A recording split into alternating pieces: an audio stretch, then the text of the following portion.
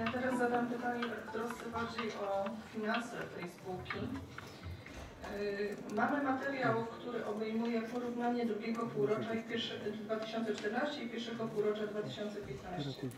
E, Zainteresowała mnie pozycja dosyć znaczna w drugim półroczu 2014 roku.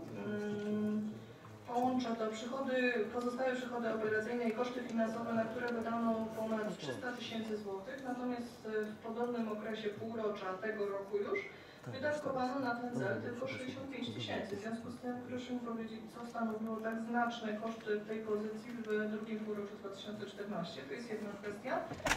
A druga, interesują mnie koszty administracji i zarządu.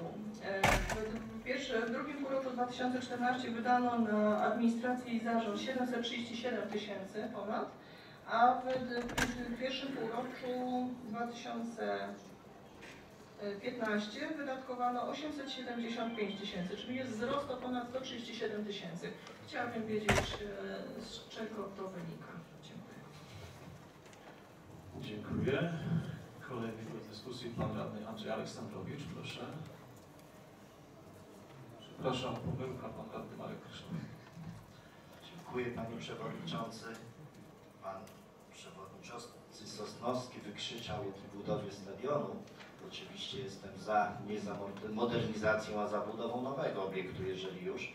A ja chciałbym do Pana Prezydenta zwrócić się z inną kwestią. Na Komisji Sportu 22 czerwca prosiłem obydwu Panów Prezesów o krótką taką analizę oceny tego, co się wydarzyło w poprzednim y, sezonie, o krótkie plany na kolejny sezon. I to samo chciałbym pytanie zadać Panu Prezydentowi. Czy Pan Prezydent, y, oczywiście w y, rozmowach z prezesami obydwu tych naszych klubów, ma jakiś pomysł, plan na to, żeby no po pierwsze, jeżeli chodzi o piłkę nożną, awansować, a jeżeli chodzi o piłkę ręczną, no wreszcie zdetronizować Kielce. Czy są już jakieś plany, no również i finansowe, Panie Prezydencie?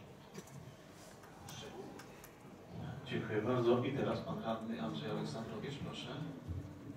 W 2014 roku, jak wynika ze sprawozdania stan, stanu mienia, miastu ubyło dw- 23 tysiące akcji Wisła Płock S.A.